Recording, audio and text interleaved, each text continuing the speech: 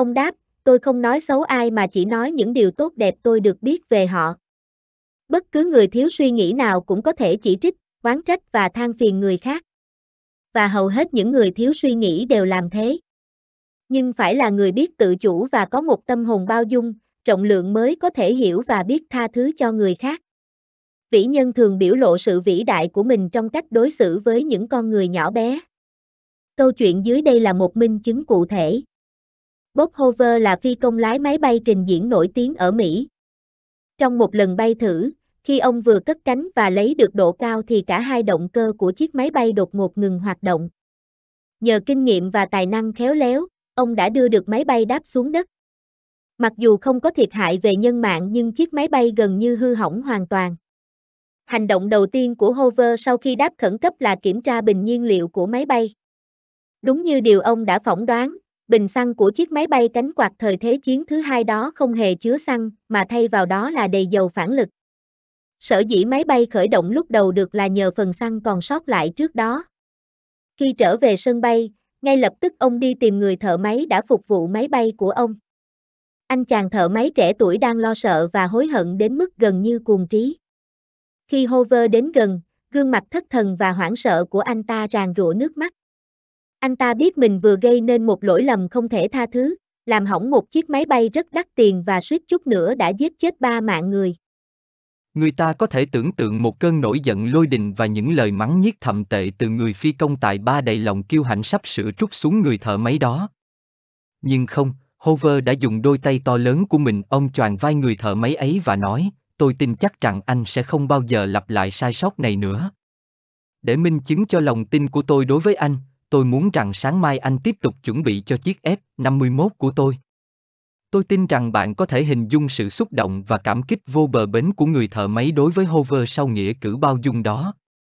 Cha mẹ thường có xu hướng trách mắng con cái.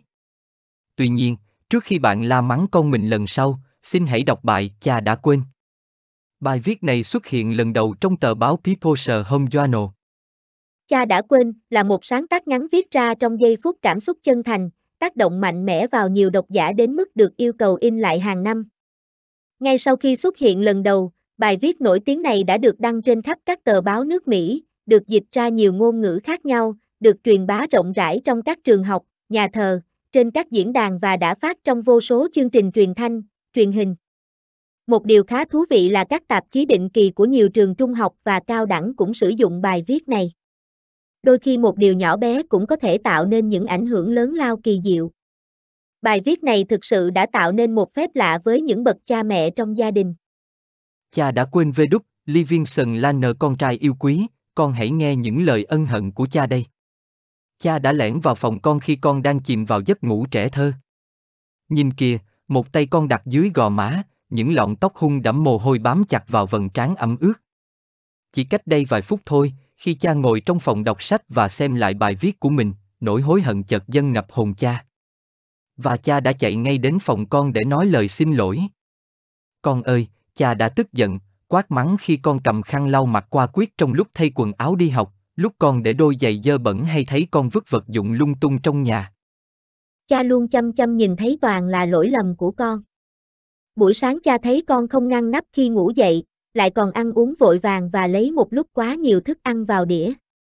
Vì chỉ nhìn thấy lỗi lầm nên khi con chào cha xin phép ra ngoài chơi, cha chỉ cau mày và trả lời cục lốc không chút thiện cảm, hừng. Liệu mà về sớm đấy? Buổi chiều, cha cũng tức giận với những sơ suất của con. Khi thấy đôi vớ của con rách, cha đã làm con phải mất mặt trước bạn bè khi lôi con về nhà. Con thật sự đã làm cha rất giận dữ vì đã không tiết kiệm, không chịu giữ gìn những món đồ mà cha đã phải vất vả làm việc và dành dụng mua cho con. Khi cha đang đọc báo, con rụt rè bước tới ngước nhìn cha với ánh mắt ngây thơ trong sáng, cha lại quát lên, mày muốn cái gì? Và trái tim cha đã xúc động biết giường nào khi con chỉ im lặng chạy đến, vòng đôi tay bé bỏng ôm cổ cha thật chặt với tất cả yêu thương triều mến rồi lại chạy biến thật nhanh ra ngoài. Con thương yêu.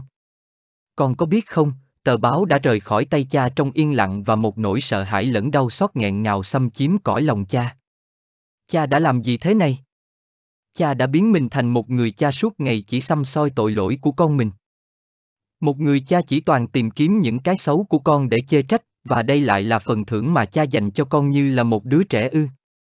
Cha chỉ muốn con phải thế này thế nọ, cha chỉ muốn con phải cư xử như người lớn. Cha đã đo con bằng cây thước dành cho một người trưởng thành, bằng cả những năm tháng tuổi đời và sự trải nghiệm già dặn của cha. Con yêu của cha. Trong khi cha nhìn con bằng đôi mắt già cỗi và muộn phiền, đầy thành kiến, soi mói ấy, cha chẳng thèm biết đến những cái tốt, điều hay và sự chân thành, hồn nhiên trong tư chất của con.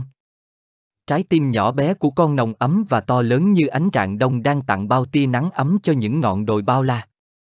Con đã hồn nhiên lao vào hôn chúc cha ngủ ngon mà không hề vướng bận việc cha đã la mắng con cả ngày và hàng học với con vì những lý do không chính đáng. Con thương yêu. Cha không thể đợi thêm được nữa. Cha phải nhanh chóng bước đến bên con, quỳ xuống cạnh chiếc giường nhỏ bé và nhìn gương mặt thơ ngây của con trong giấc ngủ với một niềm ân hận vô cùng. Có thể, con còn quá bé bỏng để hiểu những cảm xúc đang tràn ngập lòng cha.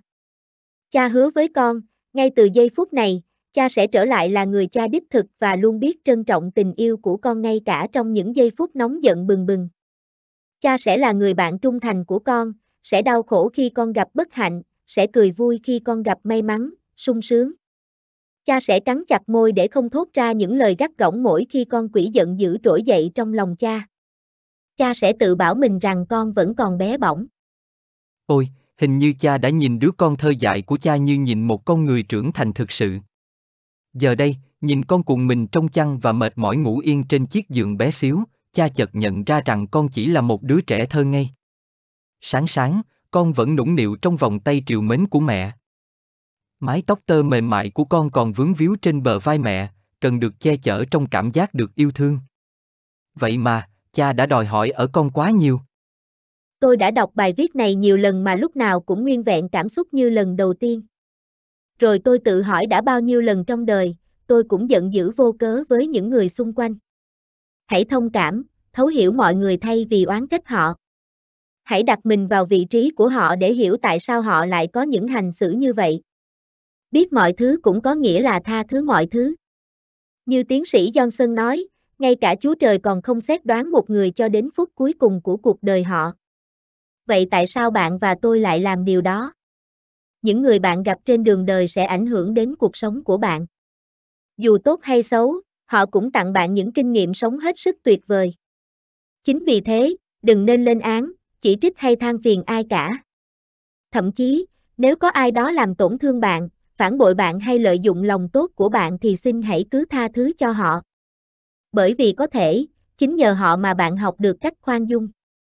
Chỉ trích một người là việc không khó. Vượt lên trên sự phán xét ấy để cư xử rộng lượng, vị tha mới là điều đáng tự hào.